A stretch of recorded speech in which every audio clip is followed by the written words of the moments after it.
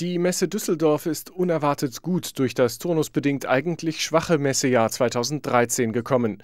Das Unternehmen erzielte am Jahresende einen Überschuss von 6,8 Millionen Euro. Der Umsatz des Konzerns lag am Ende sogar über dem Plan.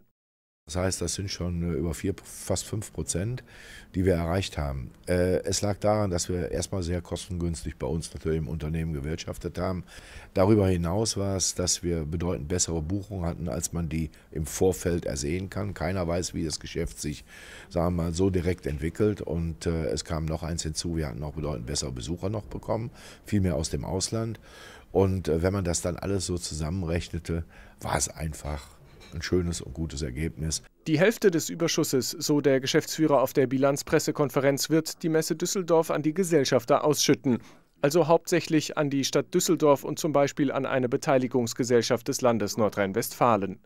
Für 2014 ist weiteres Wachstum geplant. Vor allem das Auslandsgeschäft soll stetig ausgebaut werden. Hauptziele sind Russland, China, mittlerweile Indien, Indonesien, äh, wo wir sehr, sehr stark tätig sind. Jetzt neue Projekte auch mal in den USA. Der Messemarkt ist an für sich vergeben, aber da gibt es äh, ganz spezielle äh, Kongresse mit kleineren Ausstellungen, die diesen Markt auch bedienen können. Also da sind wir sehr umtriebig. Im Endeffekt ist die Messe Düsseldorf auf allen fünf Kontinenten aktiv. Für 2014 peilt die Messe Düsseldorf einen Umsatz von 400 Millionen Euro an. Mit etwas Glück, so Dornscheid, sogar etwas mehr. Das wäre eine Steigerung für den Konzern und das nachhaltig und weiterhin komplett subventionsfrei.